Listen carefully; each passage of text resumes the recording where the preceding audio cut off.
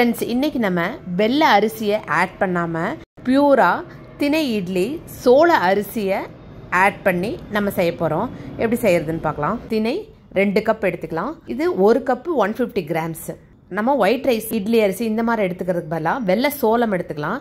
நமக்கு நல்ல ஸ்ட்ரென்த்தாகவும் இருக்கும். ஒரு கப் எடுத்துக்கலாம். அது கூடயே முழு உளுந்து முக்கால் கப்பு ஒரு டீஸ்பூன் வெந்தயம். இது எல்லாத்தையும் சேர்த்து ரெண்டு மூணு தடவை நல்லா வாஷ் பண்ணி எடுத்துக்கலாம். இந்த மாதிரி அழுத்தி தேய்ச்சி நம்ம வாஷ் பண்ணிக்கலாம். அப்போ தான் சுத்தமாக இருக்கும். இப்போ இது நல்லா வாஷ் பண்ணி எடுத்தாச்சு.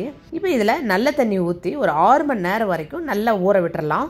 ஆறு மணி நேரம் ஆயிடுச்சு. இப்போ பாருங்கள் அரிசி நல்லா ஊறிடுச்சு.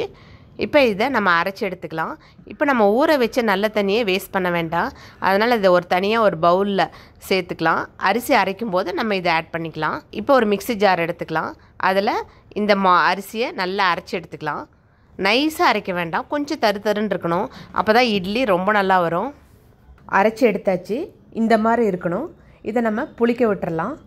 இதை கொஞ்சம் உப்பு சேர்த்து நம்ம புளிக்க விட்டுறலாம். இது வந்து மினிமம் ஒரு எயிட் ஹவர்ஸ் வரைக்கும் ஊறினா ரொம்ப நல்லாயிருக்கும் இப்போ நீங்கள் மார்னிங் செய்கிறதா இருந்தால் நைட்டே நீங்கள் அரைச்சி வச்சிட்டிங்கன்னா கரெக்டாக இருக்கும்.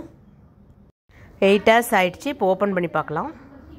இப்போ பாருங்கள் மாவு நல்லா பொங்கி வந்திருக்கு. இதை ஒரு தடவை நல்லா மிக்ஸ் பண்ணி விட்டுடலாம் இப்போ இட்லி ஊற்ற ஆரம்பிக்கலாம். முதல்ல இட்லி பாத்திரத்தில் கால் பங்கு தண்ணி ஊற்றி வச்சிடலாம். இந்த தண்ணி கொதிச்ச பிறதான் தான் நம்ம இட்லி ஊற்றணும் தண்ணி நல்லா கொதிச்சிடுச்சு. இப்போ இட்லி தட்டில் ஆயில் அப்ளை பண்ணிக்கலாம். அப்போ தான் இட்லி ஒட்டாமல் வரும். இப்போ ஆயில் அப்ளை பண்ணியாச்சு. இப்போ ஒவ்வொரு குழியிலையும் மாவு ஃபில் பண்ணிக்கலாம். இப்போ ஃபஸ்ட்டு தட்டில் மாவு ஃபில் பண்ணியாச்சு. அதே மாதிரி ரெண்டாவது தட்டும் ஆயில் அப்ளை பண்ணி ஒவ்வொரு குழியிலையும் மாவு ஃபில் பண்ணிக்கலாம்.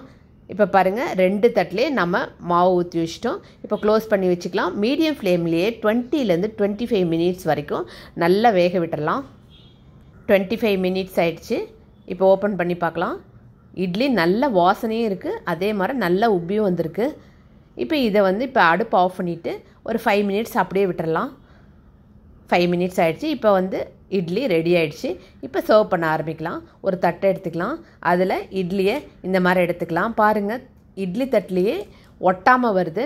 இப்போ திணை இட்லி ரெடி ஆகிடுச்சு இதுக்கு ஏற்ற மாதிரி சாம்பாரோ சட்னியோ எது இருந்தாலும் நல்லாயிருக்கும். நான் இன்றைக்கி உருளைக்கிழங்கு குருமா செஞ்சுருக்கேன். எப்போவுமே இந்த சிறுதானிய இட்லிக்கெலாம் கொஞ்சம் காரசாரமாக ஒரு குழம்பு இருந்தால் டேஸ்ட் ரொம்ப நல்லாயிருக்கும். நீங்களும் இதை வீட்டில் ப்ரிப்பேர் பண்ணி பாருங்கள் இந்த வீடியோ உங்களுக்கு பிடிச்சிருந்துச்சுன்னா ஷேர் பண்ணுங்கள் லைக் பண்ணுங்கள் சப்ஸ்கிரைப் பண்ணுங்கள் தேங்க்யூ